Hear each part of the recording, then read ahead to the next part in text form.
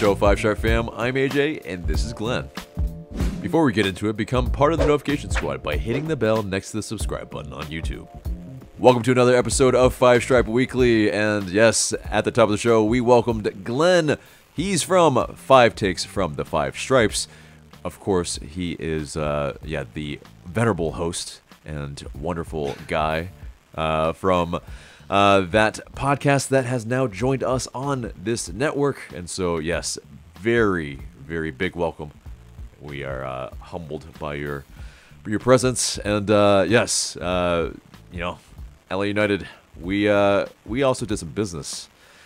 Speaking of that, we in game two slapped four on the Columbus Crew, and oh boy, I mean, we didn't expect that. Didn't really uh, think it was gonna be a shootout. I think, but after uh, a uh, you know a pretty comprehensive loss in Columbus, uh, yeah, we needed all to do, and LA United, the players, they held a meeting, a players-only meeting, to uh, pretty much do what they needed to do here, and it was uh, yeah, get back on track, make sure that the uh, the players had the right mindset, and I think as well, you know, the fans, we came in and we did uh, something that we haven't really been doing all season, which is getting behind the team and you know pretty much making as much noise as possible for 90 plus minutes and Yep. I think it really helped. It really, really helped. But yeah, before we get too much deeper into the review of that game two, uh, yeah, big shouts out to our Patreon members and uh, from them with the uh, highest tiers. Uh, with Gavin, with Andrew Rowicki, with Jordan Beck, now Faruqi, Ariel Acosta, and Chris James. But uh, yeah, also remember to subscribe on uh, YouTube. We are on the road to 10,000 subs, so help get us there.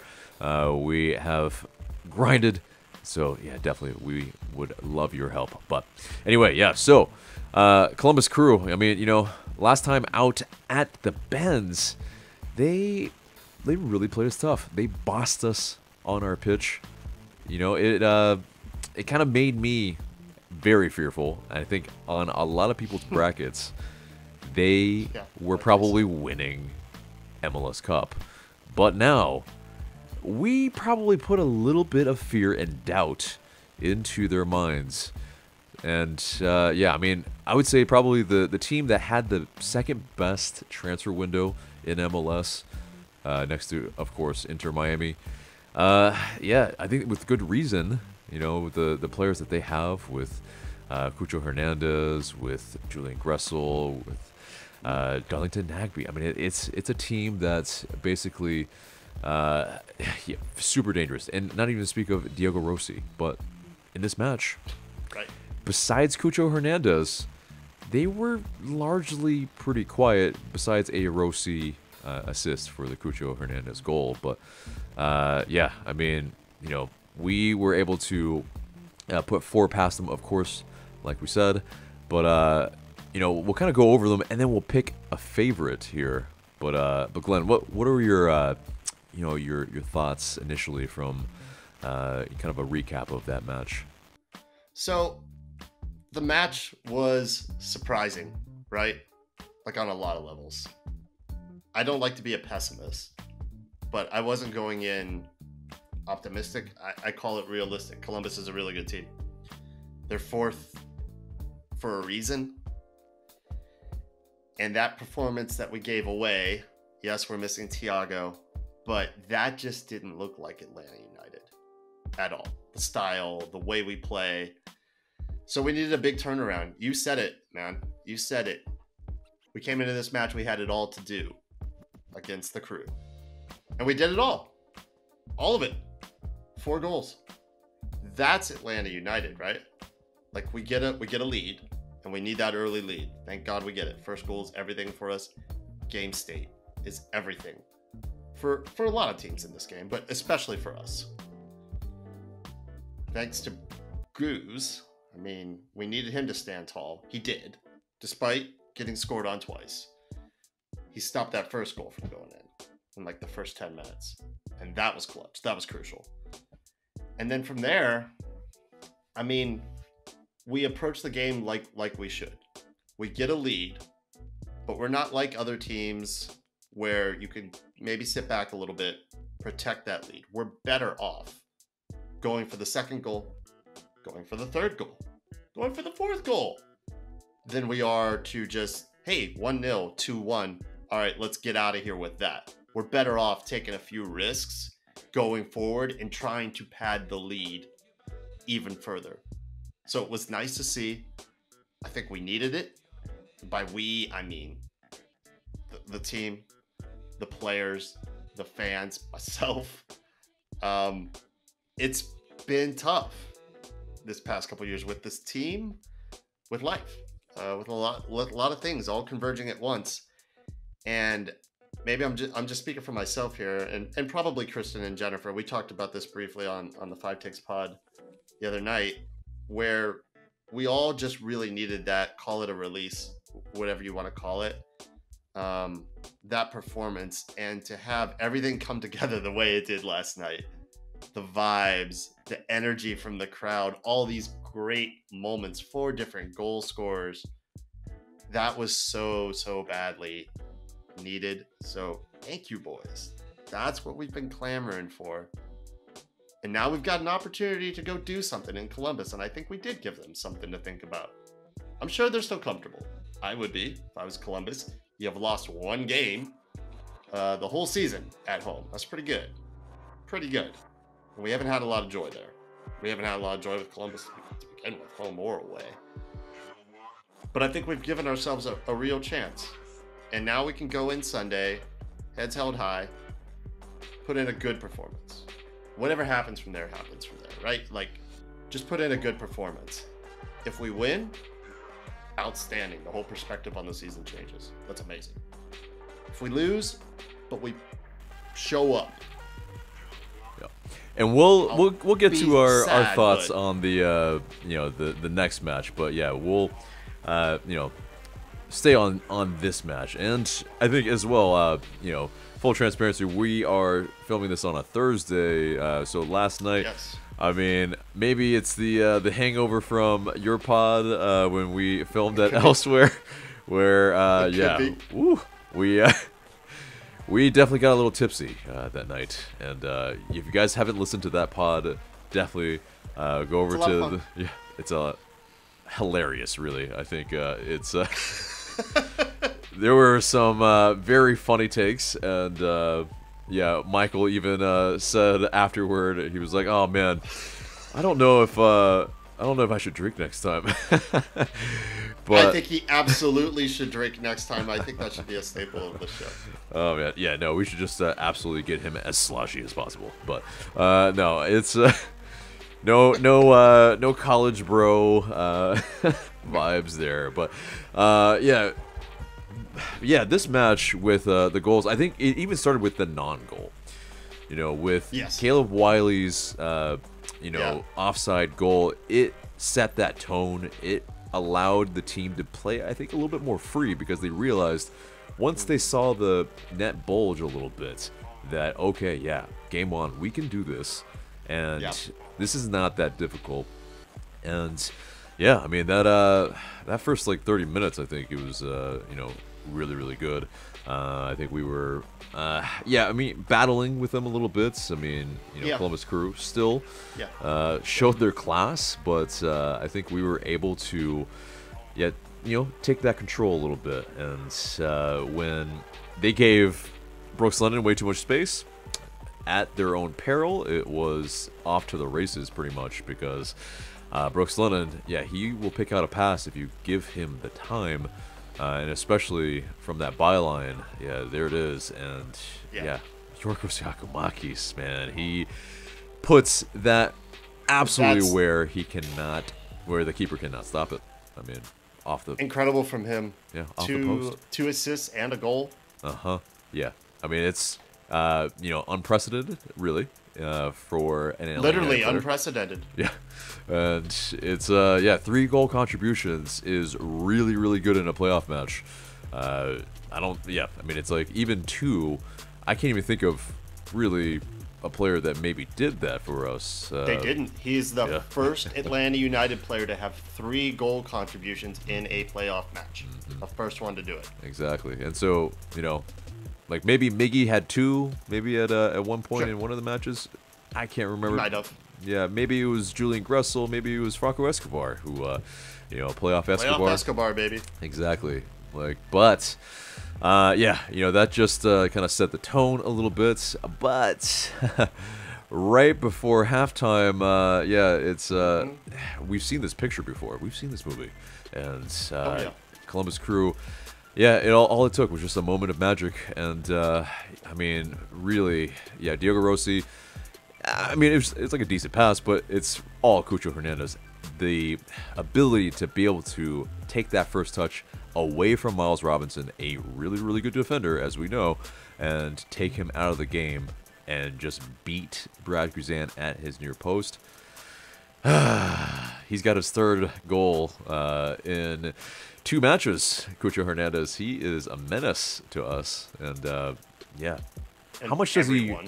he? Yeah, and everyone really. But how much does he remind you of, like, say, uh, Josef Martinez? Because for me, like, I see the the parallels, but uh, a- I wonder. It's a really good point, and when we get to talking about the upcoming match, I think it's a point we can exploit. Because, I mean, when Josef was at his peak of his powers with us, he was banging in 30 goals, high 20s anyhow, right? Mm-hmm. We were very dependent on him for our goals. Mm-hmm. Majority of the goals coming from him. It's not so much the case now with this new Atlanta United, right? Mm-hmm. Like we had four different goal scorers. You don't know where we're going to hit you on our night. When we're playing our game, when we're in form, when we're healthy, when we're not suspended through silly yellow cards, reds. We can hit you a lot of different ways, and we showed that last night. Columbus, they're good, don't get me wrong. They've got the best midfielder, probably of all time, Yeah. in Nagbe, that Atlanta area driver. yeah, for MLS, Um, yeah, for sure. Yeah, for sure. Yeah, yeah, not globally, but just in this league, certainly within the last, in recent history, last 10 years, anyhow. But a lot comes off Cucho's foot, right? Mm-hmm. If we can neutralize that, Very maybe interesting. we got something. Yeah, I, I, I like the uh, the parallels, uh, and maybe yeah, it's something that we can exploit if we could starve him Yes. of service. So He is Josef-esque. He is. He is Yeah. that poacher. He he does have that quality. He's he's not all that dissimilar. And when anybody, when we were playing with Josef, would try to shut him down, that would frustrate us. So we might be able to do a little something there. Maybe. yeah, indeed, indeed. So yeah, uh, it, it might be something to look for in the third match, but yeah, uh, you know, it became one-one after that, and yeah, you you you know maybe might have seen the fans' heads drop a little bit, the players' head drop uh, in some previous matches, but no, it was uh, it was a different playoff atmosphere, and yeah, LA United, they yeah they, they yes they got scored on six minutes later, but very quickly right after that. They answered with another goal, and this was a very, very brilliant team goal.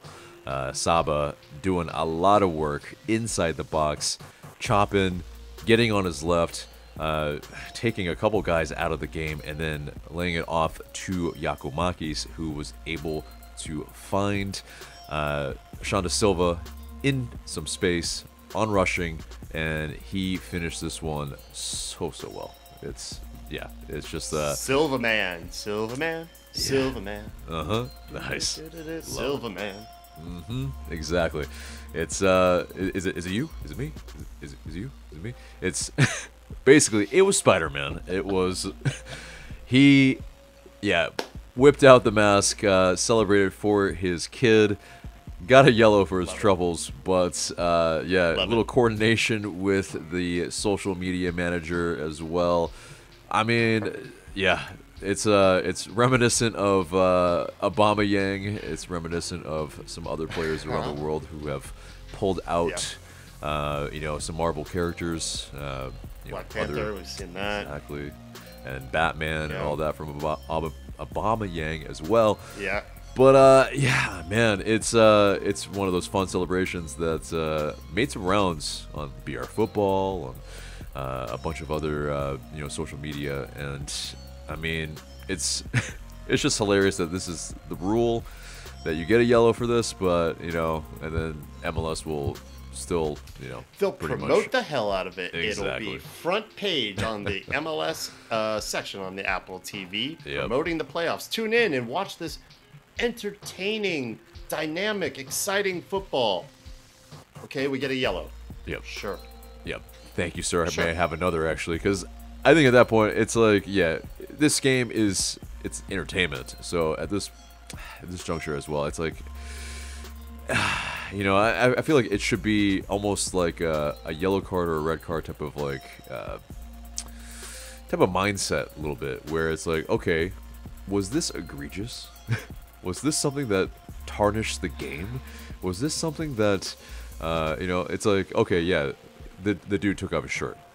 Like, what is the big deal? But I think the the, the crux of it, it maybe is this: was it irresponsible of Xande Silva to have done that in the first half? What do you think? I think you can make a case either way. I don't think Xande is stupid. I think he knew, right? This is pre-planned, Mm-hmm. and I think he knew he was going to get the yellow for it. Mm-hmm. So, if you go in knowing, and we don't know if he knew or not because we haven't had that conversation with him. But if you're going in knowing you're going to get the yellow, you could make the case that it's a little irresponsible because you're sitting on a yellow Mm-hmm. early on. And we saw what that did to us in Columbus. A completely different way to get a yellow with Muyumba. Yep. But early yellows can be crucial. Mm-hmm. That being said, I don't know, man. I'm here for it. Like, the vibes were just so high. It gave the team so much energy. Let them have it. I think it's a silly yellow to give. But then if you say, like, we're just not going to give, by we, I mean professional referee organizations worldwide, mm-hmm. no more yellows for shirts off or any type of those celebrations within reason. It's not time wasting or anything like that. Mm-hmm. Does it take away some of the specialness of it then? Because there's a payment to mm. do a celly like that, right? Mm. Like mm. it means something. It costs you something. You're having to give something, and that makes it maybe more special when you know there's a price to pay for doing that kind of celebration. I like it. I, it's uh, it's an interesting thought for sure because then everybody else would be doing it. And Everybody then- do it, right? Yeah, Mm-hmm. Everybody's busting out Spidey masks and ripping their clothes off. You know, we got naked guys running around everywhere at that point. Maybe who knows? Yeah, you know, uh, I think uh, you know the the people that enjoy that might be uh, apt to probably enjoy that a little bit more. So uh, Perhaps. yeah, you know, it, uh, for the uh, the female perspective, uh, it might not be a bad thing, I guess. But uh, Yeah, or- for another perspective, I mean, Right. if you know, for all the ups and downs this team has had, and we're gorgeous. This team has always been beautiful, for, for, for what it's worth. Um, I, I saw Pineda was upset by it, or at least he appeared to be. Takes the mask right, tosses it to the ground. I get it, coach. You're frustrated. Early yellow. yeah, Uh, I doubt he's really laid into him too Mm-hmm. much about it. I mean, Xande's still tweeting out Spidey, Yep. you know. Yep. Um, So it, it is what it is. It, it, it- fortunately, it didn't cost us. Yep. So it, it, it's okay uh, for me, and um, I think I was just having too much fun and just just totally absorbed in, into the match and the energy that uh, the crowd was giving the players and the players were giving the crowd. It was it was the most hyped up, symbiotic, like that yes, felt 2018, 2019. You know, It was So, synergy, I'm for good sure. with it. I'm good with it. I'm good with it. And I, I think you made a good point there uh, about Muyumba as well, where, uh, yeah, I mean, obviously in game one, it was uh, he he was on the ropes, uh, pretty much. Uh, he he probably should have been sent off, but uh, in this match, completely different story. This man on fire, ret- retribution for sure. I mean, he was everywhere, everywhere, and making tackles, uh, really being really creative with the ball as well, and just spurring us forward, uh, connecting our lines, and that is exactly what we need. because uh, yeah, that's been our Achilles all season long.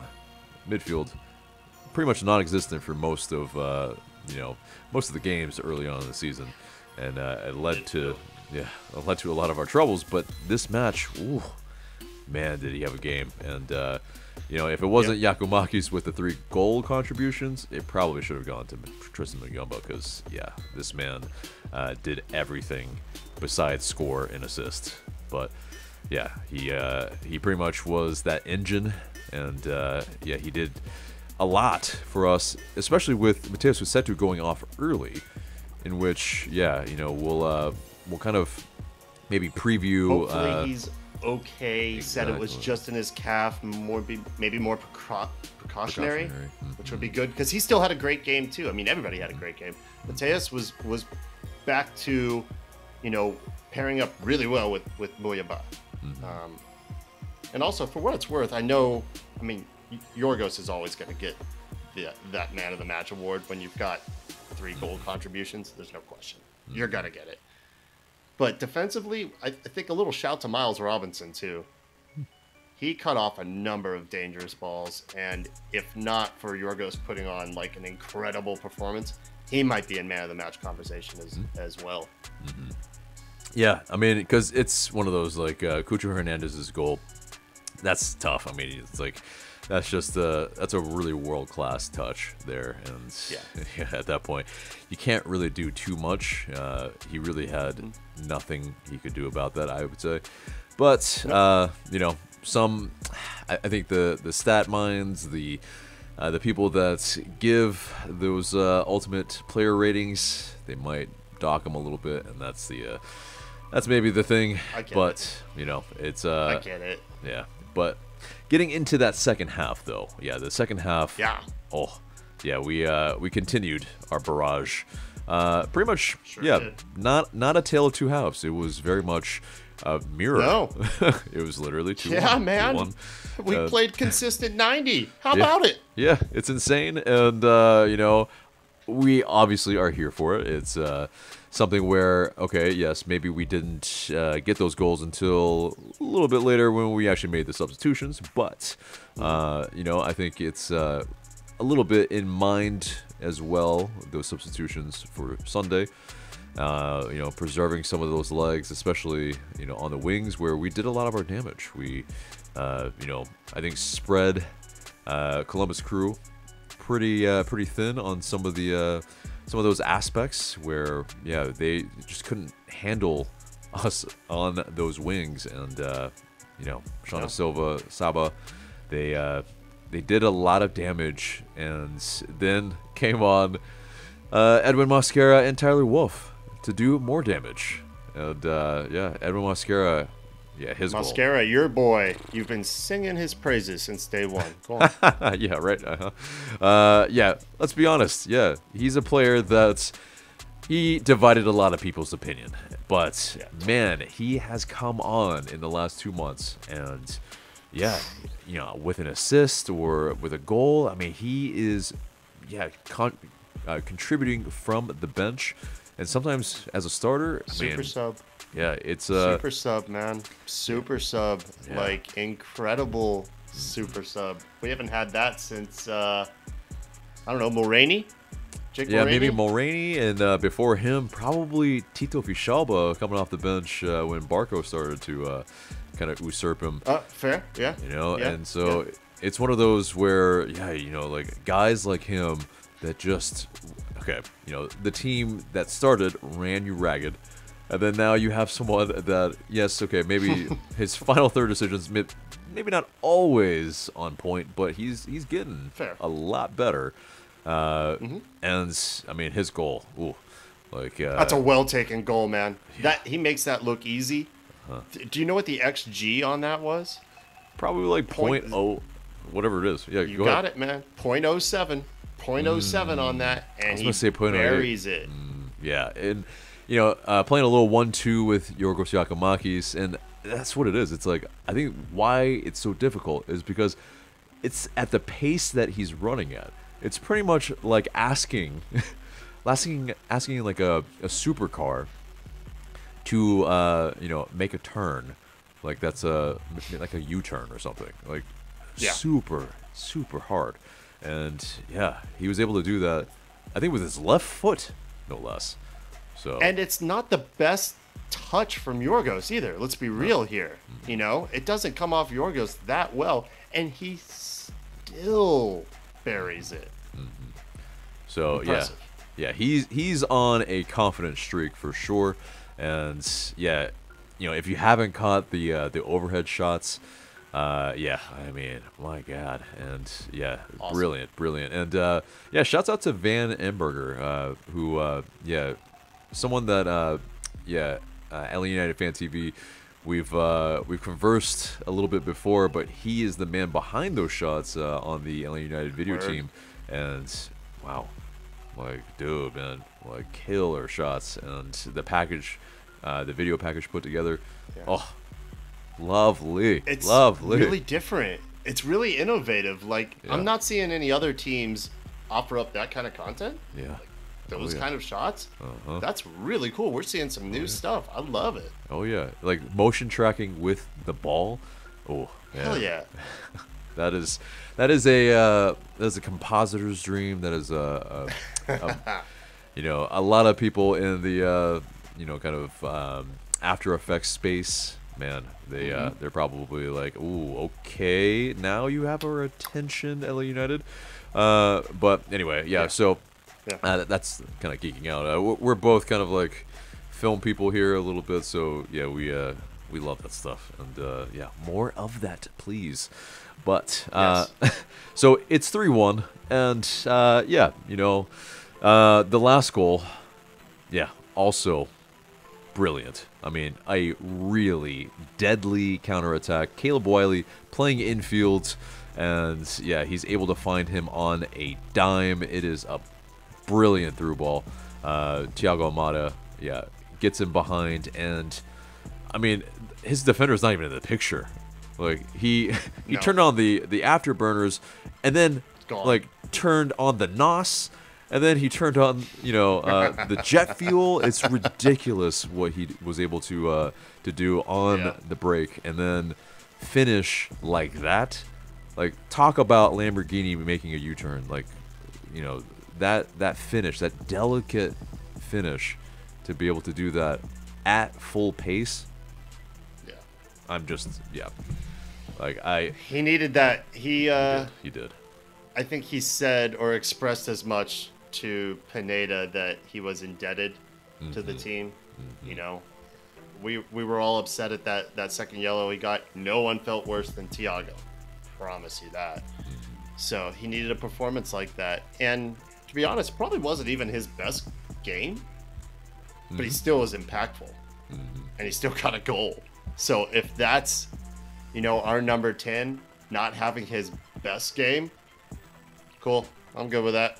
Exactly, because that's this is exactly what it is. Uh, we'll get into it in the the uh, the preview, but yeah, Yeah. Thiago Almada has not played in Columbus this season anyway. So it's one of those. You're right. Yeah, and so Ah. there is something. He, he did play there last year. I think so. Yes, But, He would have been there. Okay. But yeah, yeah, yeah. Good point. Yeah, it will be a lot of fun to see kind of uh, you know how he can really change the game for us there. But we'll get there. We'll get there. But uh, yeah, I mean it's so it's four one. Uh, you know, everyone's just having a hell of a good time.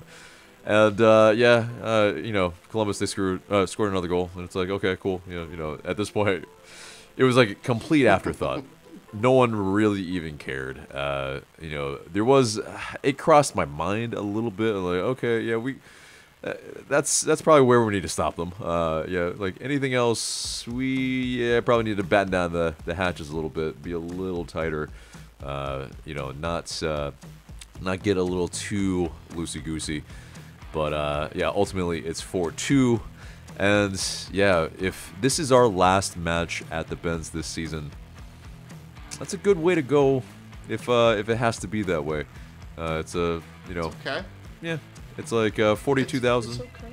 Yeah, you know it's like uh, I think you you left The a way you pretty say forty-two thousand, we take this for granted, right? I know, like, right, yeah. oh yeah, you know, Tuesday night, forty-two thousand. That's normal. Mm-hmm. Go to some of these other stadiums, man. They Yeah. just they don't pull these kind of numbers. They don't pull this kind of support. I try not to take it for granted when I'm in the moment and I'm there in that that atmosphere of like this is cool. Mm-hmm. You know, I try not to let the cool ever wear off. You know that shine because it's special. Even in year seven, whatever we're on right now, it's still special. It's still special. Yeah, and that's that's a really really great point because it's a bit difficult to to stay kind of uh, you know stay stay hyped in some of the uh, the downturn times. But uh, yeah, man, this uh, as a playoff match, like you said, on a Tuesday when other teams struggle to hit 30, it's like yeah, I mean we are doing things in Atlanta that's it's just not like yeah still it- doing it. Right. It's Been not doing it. Still doing it. Mhm. It's not like it's a, a Champions League night. It's not like I mean it's it's an MLS playoff game two, and we show out. And so yeah, we continue to do that. I mean it's just uh, th- that's how we get you know the the better players to come to LA United because you know that's Yeah. that's that that uh, Yeah. that intangible that other teams cannot have. And Yep. You know that's the the brilliance but um, yeah so uh, into kind of uh, a little bit of the quotes i mean uh, yeah you know Brad Guzan, he talked about, uh, he said, we talked about, quote, getting the fans and supporters behind us, and we knew that was going to be a crucial part. They were incredible throughout the entire game. It is a massive win and a pleasure to play here at home. Now we have to roll up our sleeves and go to Ohio and find a way to get another result. And uh, yeah, I mean that's that sums it up for sure. Uh, that's yeah, like LA United and Yeah. the fans. We did everything we needed to do, and uh, now it's yeah, uh, up to some visiting fans and the club to to find that that energy on the road away Yeah. in probably one of the more difficult atmospheres in the league because It will be. Yeah since It will be. They've it's moved a, into it's Lower.com. a hard place to Yeah. play. Mm-hmm. They, they've lost one game. yeah One game. The whole season. Yeah. The whole season. Mm-hmm. yeah Yeah, it's a hard place to play. indeed, indeed. And hey, shouts to Goose for man, what a leader. Like he's always grabbing that mic in the good moments and in the Mm-hmm. tough moments. Mm-hmm. So I'm really happy he was able to give some like grab the mic last night in a win, in a big, big win, in a really special win, like our first meaningful win in years. yeah Really meaningful, right? Like in a do or die type situation. yeah I'm really Backs happy that he was wall. able to just spout Oh, yeah. some positivity for once because he will always just give the quotes, talk to the media in the Mm. toughest of moments. That's my captain. Yeah, and because uh, yeah, it's in terms of meaningful win. Like we have crashed out of some playoffs. We've crashed out of some cups. Uh, it's Yep. been a difficult uh, road in some meaningful games. I think it was Julian Gressel who was our last goal scorer in the playoffs, which is damning. But we have we have rectified that, uh, and yeah, of course uh, we had four different goal scorers, like we mentioned earlier, and uh, yeah, you know, hopefully we can uh, still have some more in uh, in game three. But uh, yeah, to also uh, answer my own question, who were the other players that uh, had at least two goal contributions? It was Julian Gressel and Franco Escobar. So, uh, yeah, I mean, it's basically you know Giakoumakis. Uh, yeah, he's he's put himself into you know a different different level as far as uh, playoff heroes for us a little bit, which is good. Xande Silva, man, he could have had two as well. We didn't talk about the miss, but yeah, that, that was a pretty we can talk miss. about it. It's it happens. Yeah, It happens. it does. Like every, I, I don't care if you're Xande, Josef, or Mo Salah. Mm-hmm. World class strikers miss embarrassing, like sitters like that. Yeah. What was more important? What was what came after? That was ugly, Mm-hmm. but man, Yorgos, the, the moment after, that was beautiful. That Yeah. was beautiful. Yeah, the the way he basically uh, you know riled up the fans to make sure they supported Xande Silva after that miss, And especially as well, man, like he could have had four goal contributions. He was the one who laid it off on the transition where Could have. That would have been four. Oh my goodness. Yeah, he could have been Wow. selfish, took the shot. I mean, I, I think it would have been a different uh, thing if he hadn't scored already. But yeah, I mean, Maybe. it's Yeah. it's one of those, man. Like, yeah. Uh, but Sh- Silva, he did speak after the match about that that missed goal, and uh, Mm-hmm. he's like, "quote I don't mind. It's part of the game, you know. You score, you miss, you just forget about it, then go to the next game." And it's a good goldfish ment- mentality for sure. Like Yeah, that's goldfish. you know, that's uh like very Ted Lasso-y and uh yeah, it's, it's what we need right now. Like we need we need that psychological edge. And I think that's uh, that's something that's very important here that uh, Giakoumakis was able to help uh, cultivate with Silva. So definitely I think so. huge, huge moment.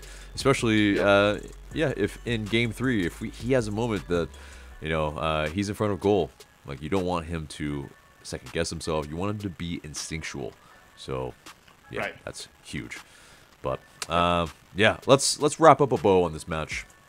Yeah, Okay. What are your final thoughts on this? That it was just uh, for once a really complete well not for once. I, I shouldn't be that harsh on the team. We just don't do it enough. But in the playoffs, A really so in a once, playoff in a, in a meaningful match. A complete performance end to end. Defense to offense for, for the most part. I know two goals. I still think we played a pretty solid game and they were just good goals. And it's just not something we've done since really 2019 mm-hmm. and this was the type of performance that we needed. It had to be this. Mm-hmm. Couldn't be winning in penalties. Couldn't be 2-1 couldn't be 1-0 lucky goal in the 90th minute. It had to be like this to give us any sort of chance on sunday in game three of getting out of this. Mm-hmm. Yeah, indeed. And uh, yeah, so you know our next match is on Sunday, and we will have that match preview later on in this episode. But let's get into the news and elsewhere around the league. Uh, FC Cincy they've advanced. SKC also advanced SKC against yes, indeed against uh, St. Louis City. Uh, yeah, they uh, they won the battle of uh, Missouri, but uh, as well. Uh, Orlando City they also beat Nashville, and yeah, for me that broke my bracket a little bit. Uh, you know, because oh yeah you think yeah, I was not thinking that Orlando would uh would kind of take care of business that easily against Nashville, but hey, you know, No. uh, it is what it is. Uh, you know, it Yeah. might be really interesting in the next round for uh, you know a lot of the uh, the other teams, um, especially if we get past. We might have to play Orlando City, uh, but maybe we shall see. But anyway, uh, so uh, on to the next bit of news. Uh, yeah, LA United, they pointed out that in the 404 kit, uh, we've seen a lot of wins with four goals.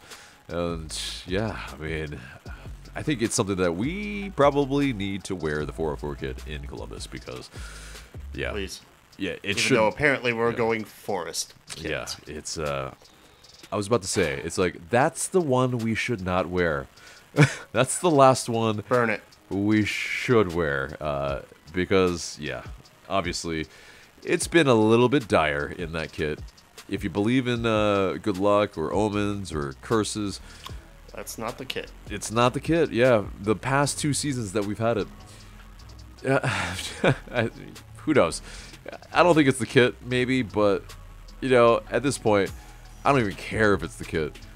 Let's just wear the the thing that makes us feel good. You know, it's that whole, you know, you look good, you play good.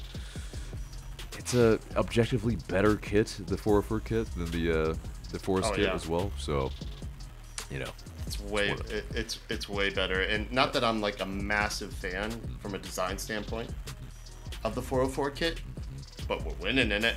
Exactly. It looks good on TV. Right. It always looks a lot better when we're winning it. And uh, yeah. Yeah. For for me as well, I think it's it's what it resembles, it's what it stands for. That's what, what, it means, the meaning behind it. exactly. As a massive Outcast fan, like that's Right. that's what it is for me. But um, what it embodies. indeed, indeed.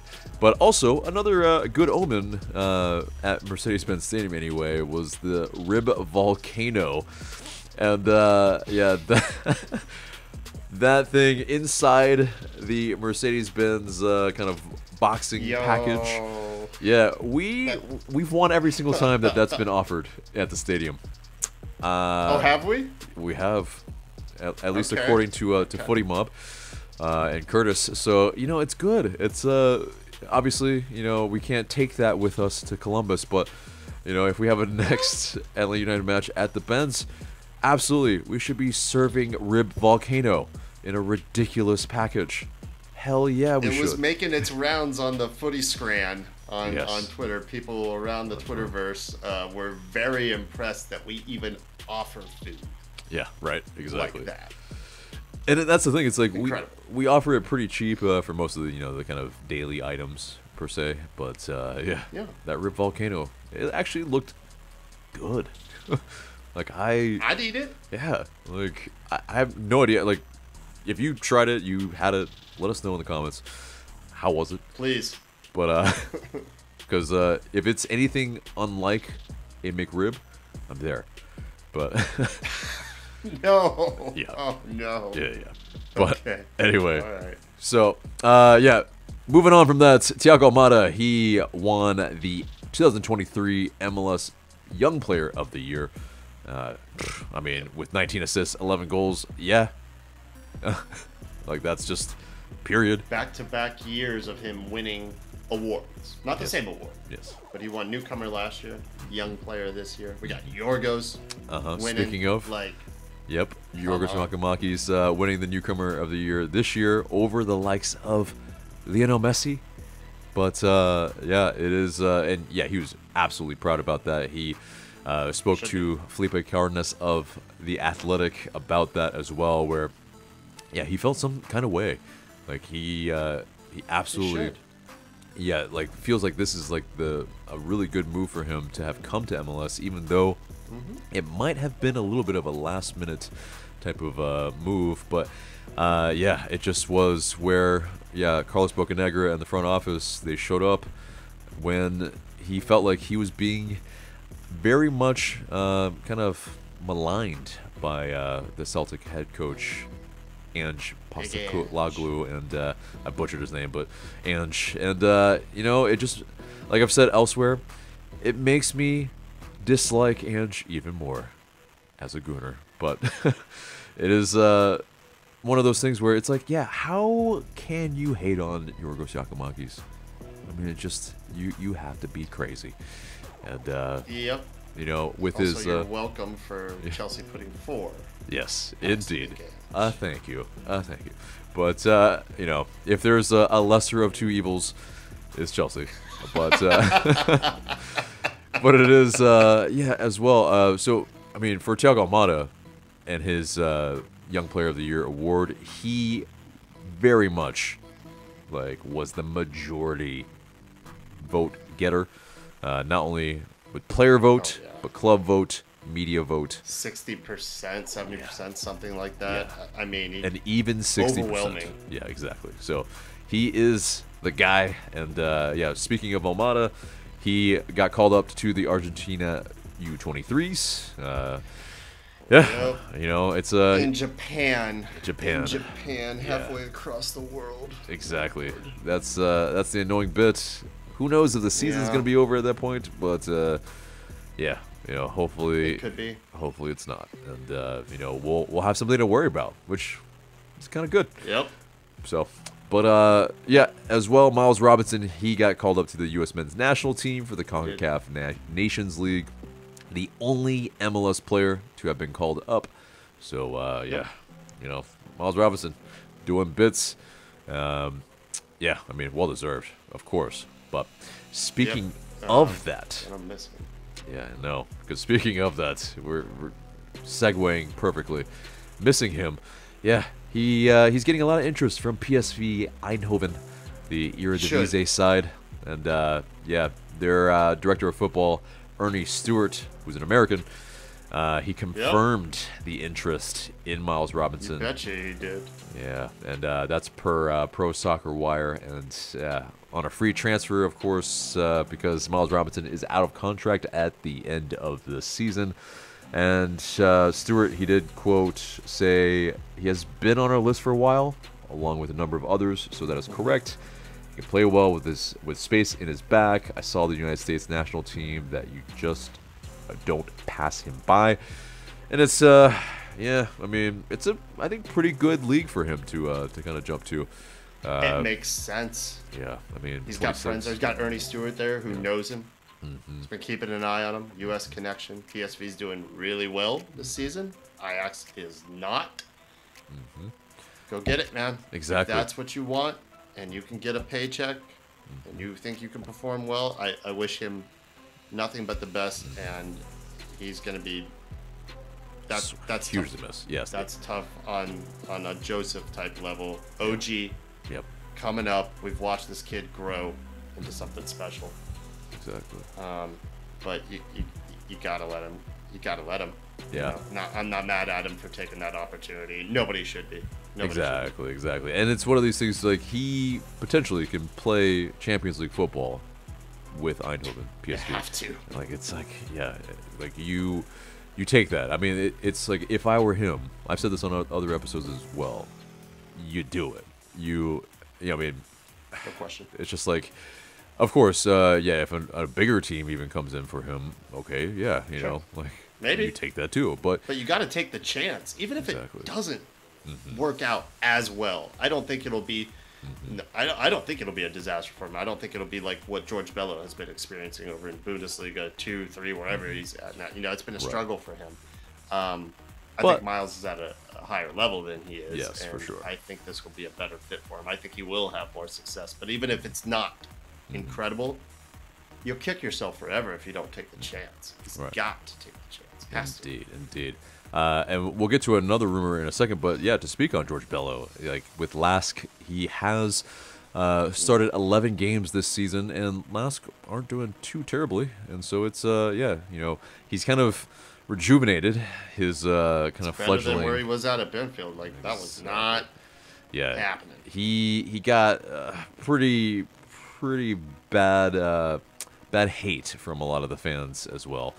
Uh, you could I, I, checked in on some of the uh, some of his posts, some of the uh, the social media as well for Bello. It was yeah, not not the prettiest, uh, but uh, yeah, he is definitely in a much better place now.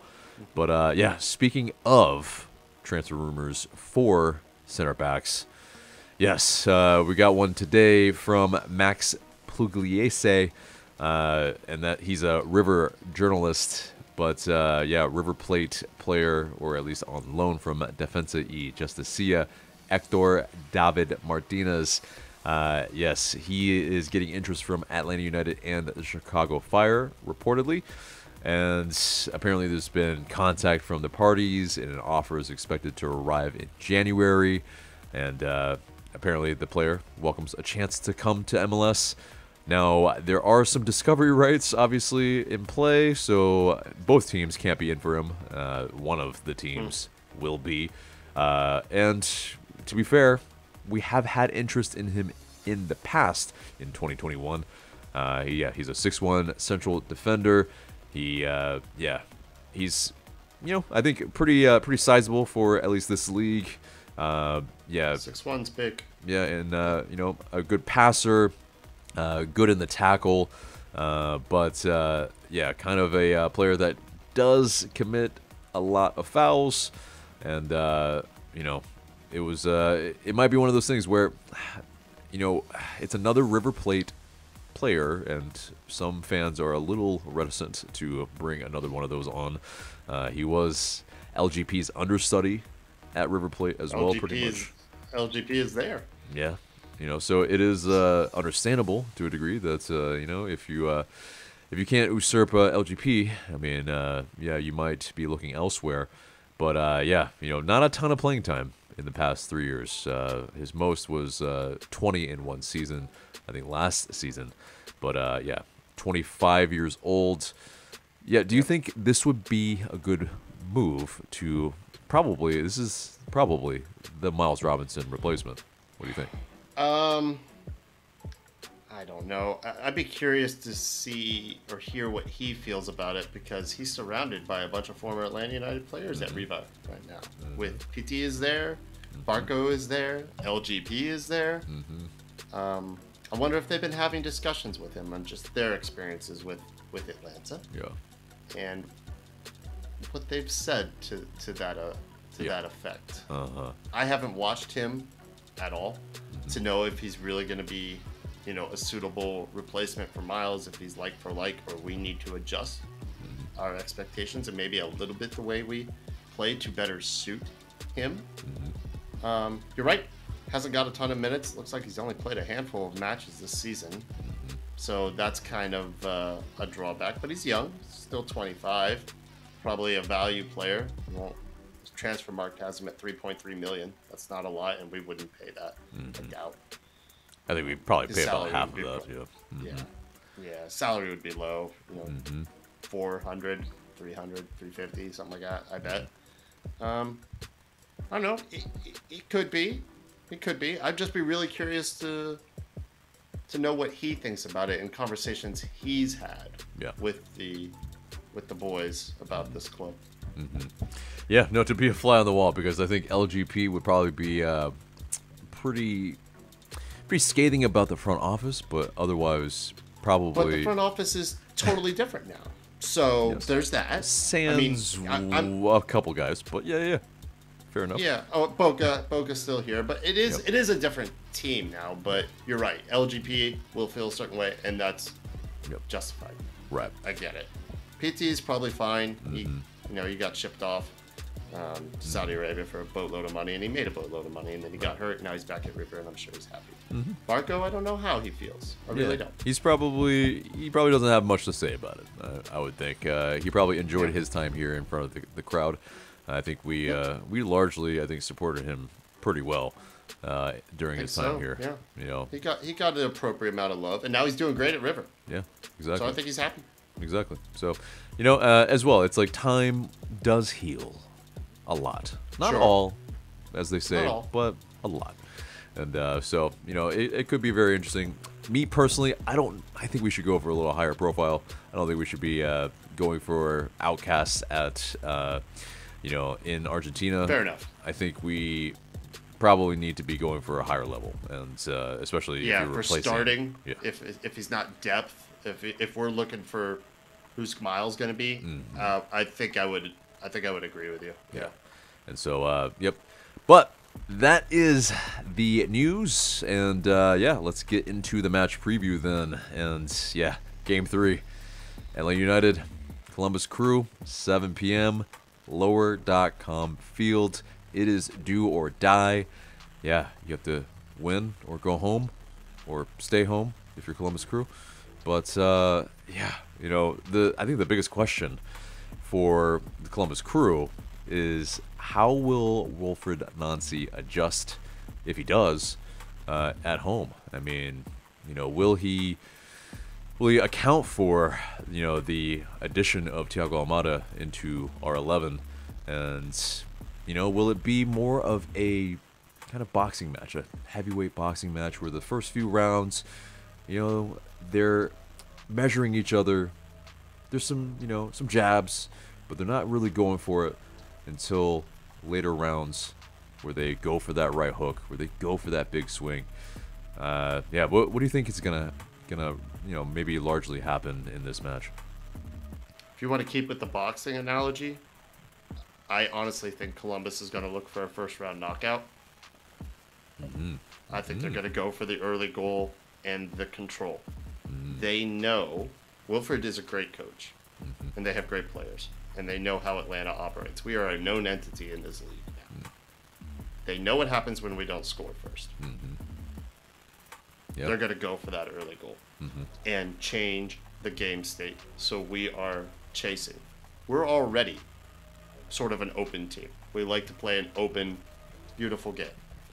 We will be more open if we are chasing. They want that. So we've got to figure out a way to frustrate, box them up so that they can't, you know, play their style Mm-hmm. and get that early goal. Because if they do, we are in trouble. Mm-hmm. Point blank. Yeah, so, you know, obviously in game one, uh, we decided on a strategy that really was not the move, obviously. Uh, we looked stifled, we looked uh, pretty much toothless. Uh, I mean, yeah, it, is one of those things, okay, yes, they're coming out like that. LA United, how should we come out? Because, yeah, we we played kind of a low mid block a little bit, uh, you know, with the uh, the five man, three man uh, back line, you know, wing backs, and large in part, yeah, it was uh, very ineffective, and yeah, you know, we uh, we got turned around and uh, pretty much bullied a lot in midfield, even though we had at least uh, kind of uh, the same numerical uh, numbers uh, in midfield, but yeah, how do you feel like Atlanta United should come out? Not like we did. That style that the way we played when we lost 2 0, it's not that it's ineffective. It's that it's ineffective for us. We don't play that way. It can be an effective style if you play that way. If you're Philly, if you're St. Louis, some other teams that like to sit back and try to wait for the other team to make a mistake and counter really well. If you're used to, great, counter, won the ball, direct, go to goal. I would like to see us be a little more direct when we are um, trying to win the ball back in, in dangerous places as opposed to lateral and back passes. I go straight to goal. What we need to do is come out and play like we did at home. Don't play scared. And even if we are fortunate enough, God willing, to get that first goal, go for the second. Go for the second goal. We're much better off taking a few more risks and trying to get that second, third, fourth, however many goals you want to give me. Keep going for goals. Our best defense has always been our offense. Hmm. Hmm. And that's the way we need to come out in this one. Make them uncomfortable. Hmm. You know, even if we have to get a little physical without stupid early yellows, please don't. Yeah. Um, make things a little chippy via stop start play. That's fine. Yeah. That's totally fine. We just can't let Columbus get in their rhythm and be comfortable in their possession. Yeah, I, I think it's a great point. I think it's uh, you know, we we have to we have to look to probably stifle them a little bit early as well because there is a bit of yeah, you know, like you're saying, we get punched in the mouth early. It's hard for us to come back sometimes, especially on the road when we have tried to pretty much play through teams and Yeah. it's uh, maybe not always been the most effective. But yeah, I think uh, you know the addition of Thiago Almada. I think just the the danger from set pieces, from you know any sort of yeah, pretty much Yes, sir. yeah. If any of our players get fouled, any area, like he will find a ball to you know find a player, and I think Give him 35 yards. Oh, if he's, especially if he's in 30, it's basically a penalty. Exactly, and so you know it's it's better than a penalty at times. So it's uh it's one of these where, yeah, the I think the Almada factor here is uh, is very big, and uh, you know he's he's got a little bit of momentum. He's got that uh, you know winning his sails now. The you know some confidence from getting a goal, and Yes. you know it's uh, I think maybe one of the other factors that's uh, we maybe haven't thought about maybe it is, maybe it isn't a factor, but uh, you know weather, at least for this iteration of LA United, has been, yeah. If if we don't play on like pristine conditions, it hasn't always gone the prettiest. But uh, yeah, it's gonna be 51 and 31, so you know No rain. no rain, which is good, like six percent rain. So, you know, 31 degrees, it's not too bad. I mean, cold. hopefully it doesn't snow uh, again. It's cold. But uh, yeah, it's like pretty chilly. I mean, do you feel like it's gonna be a factor? Like, Yes. know, But it shouldn't be a determining factor. Everything's a factor. Right. Everything's a factor, but this one shouldn't be determining. I'm what I think might be, and maybe I'm grasping at straws here, and you can tell me if I am. Hmm. I'm just wondering for Thiago, for a lot of these guys, they're you're always playing for your next your next paycheck, hmm. right? Your next contract, your next transfer, whatever it is. This is a, a really big chance for a lot of these guys. Thiago in particular, um, probably even Xande. If you know, I, I assume we will be exercising the option to keep him hmm. to really make a statement here, to really turn some heads, to really get some eyes on you. You know, mm-hmm. if we were able to do this, because if we beat Columbus, man, there's not that much separating the rest of the East, right? Mm-hmm. Like, is Columbus that much better than Orlando? Not really. Mm-hmm. We're legit contenders for the cup at that point, in my opinion. Hmm. If we can get past a team as good as Columbus on the road. I mean, FC Cincy kind of have a, a pretty big stake in all this as well uh, in the conversation. So it's uh yeah, I mean, but the margins yeah are fairly small in MLS, uh, at least on the east. Yeah. On the west, it's uh yeah, it's a little wider, but it is Yeah. uh, it is definitely yeah. I mean, let's not count those chickens yet, but we No. will get those predictions and getting into that. Uh, yeah, in terms of the unavailable players, Matheus Rossetto probably is a questionable uh, figure in terms of uh, in the 11, but Machop Chol definitely is out as he's out for the season. But pretty much everybody else is available, and yeah, for that 11, let's kind of go through the lines together. I mean, let, us just be honest. Like, do you feel like there's going to be any changes uh, besides uh, Rossetto from that 11? Nope, Ajani Fortune for Rossetto, and that's it. Yeah, pretty much. Uh, yeah, same for me, man. It's uh, yeah. I think the lineup pretty much picks itself now, which is really good. I think uh, you know at this Yep. point you need that continuity, uh, and yeah, we saw how they pretty much were clicking on a good number of cylinders. Yeah, fortune for me also comes in for Rossetto, and yeah, I mean Rossetto. Uh, yeah, well, he was playing really well in uh, game two. I think you get a different element from Ajani Fortune, especially on the road. You get a little bit more steel. You still get a good bit of ball security.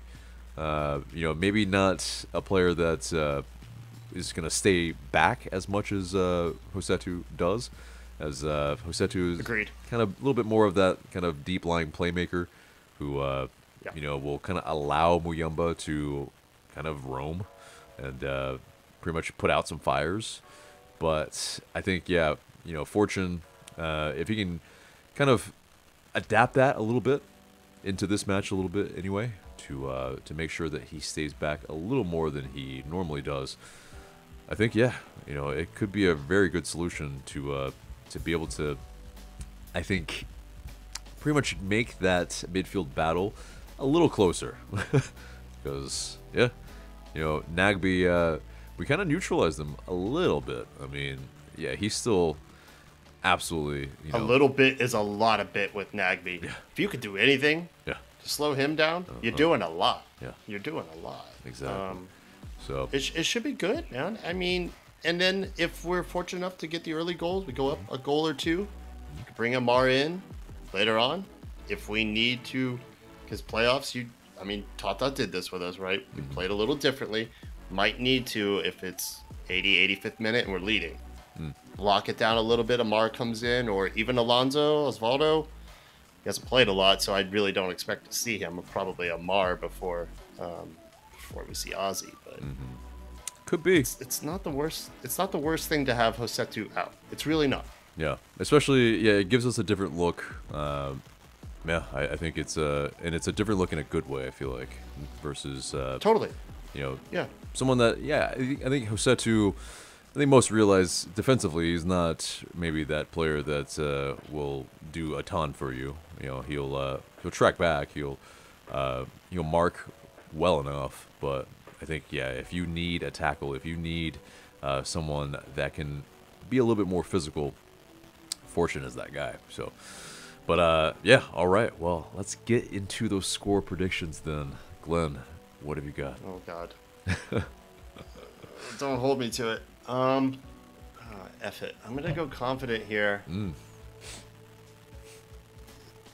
They're going to score. I mean, I don't remember the last time we've played Columbus and shut them out. I don't know if we ever have, to be honest. Hmm. 2 1. Atlanta moves on. Ooh, I love it. I love it. 2 Uh, 1. I hope so. It's close. yeah. It's nervy. Yeah. It's a nail biter Yeah. for sure. Ooh. But we get it done. Okay. Okay. Okay. My prediction. I want to be wrong. I want to be wrong because I have it as a one-one, and we lose on penalties four three. I know. I know. I agree Well- with you. If we go to penalties, we lose. Yeah. I want to be clear about that. If we yeah. go to penalties, we lose. Yeah, Guzan hasn't really shot, stopped a shot. Really, it's uh, you know, Nope. it's basically the post or the bar is our friend. Uh, so Yep. you know, I just hope that uh, you know Columbus just fixates on that for some reason, and you know, if we get to one-one, and we can somehow win in penalties, oh happy days. But uh, yeah. Riddle me this: If it goes to penalties, do you sub Guzan? What are we talking about? Arteta here? Uh, we were talking about uh, De Zerbi? Like, no, no, that ain't gonna happen. Um, Okay. That would be No, I, I severely I emasculating agree as well. for uh, for Brad Guzan, uh for the captain. Ah, yeah, I, I don't, I don't think that happens. Uh, I mean, Agreed. because that's what it would be. I mean, it's like you you wouldn't put Westberg on the bench. You would put And it's not like Westberg or um, um, oh my gosh, uh, Diop yeah, are like some phenomenal shot stoppers, Mm-hmm. you know. So it's it, there's no upgrade there. So yeah, I mean- Mm-hmm. Brad, Brad stays on, and wouldn't that be something? If he stops, Mm. a, if he saves a shot, legit, not the bar, Yeah. he saves one, gets a glove to it, yeah, and we win. Wow. I think that's and a- we win. Yeah. Oh boy, yeah, Incredible. yeah. It'd be incredible. But guys, I hope I'm wrong. And uh, yeah, let us know what your predictions are in the comments below. But uh, yeah, I mean, it's do or die. It's gonna be very, very difficult. And yeah, we're here for it on Sunday at 7 p.m. Make sure to tune in afterward for the live stream and the post match reactions. But uh, yeah, that's pretty much the episode, except for the question of the day. And the question of the day is if you were to get a yellow for celebrating to put a mask on, what character would you put a mask on for? I posed that question to you too, Glenn. Like, what what would you put on? Well, you know it's gonna be something Star Wars, right? Like Yeah, is it Vader? Is it uh, uh, what is uh, Kylo Ren? Is it a stormtrooper? Uh, Boba Fett? What do we got? it wouldn't make a it wouldn't make a great mask. But my favorite character is Obi Wan, so Uh, well, yeah. Yeah. But there's no Obi Wan mask, so yeah, give me Vader. I mean, there's those president masks, so you know it would just look creepy and it weird. would, it would, especially with the cutout eyes. Uh, That's the the worst part about Give it. me, give me the Vader mask. You know what? I hope the boys have a Vader mask. It's Hmm. been Star Wars night at Columbus before, and we lost. Uh, yeah, that's right. Oh man. Somebody take the yellow, get me a Vader mask on the other side of the ad boards, and put that shit on. Love it. That would be hilarious. Love it, love it. Uh, well, for me, uh, you guys uh, probably have seen it if you uh, have paid attention on the live streams. It's pretty obvious uh, if you did, because it would be Deadpool. So, yep, 100%. That's the move. And the merc with the mouth is uh, is how I'd go. But anyway, guys, let us know in the comments below what you would put on as a mask. Really interested in what you have to say there. But guys, that is the episode there and there. Remember to like, share, comment, subscribe. I've been AJ. That's been Glenn. Thank you so much for being on the show, by the way, Glenn. And uh, make sure to Absolutely. follow Five Takes on the Five Stripes everywhere. Instagram, Twitter, the podcast, all that. And uh, yeah, show them some love. But uh, yes, guys, remember to do all those things that I mentioned before. Thank you so much for watching, and we will see you in the next video.